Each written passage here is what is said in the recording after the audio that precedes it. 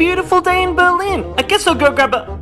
Wait, where is everyone today? Maybe I'll go check the next street. No one! Did a zombie apocalypse happen? Even the supermarkets are closed. Okay, I'm really freaking out now. Where has everyone disappeared to? Hold on a second.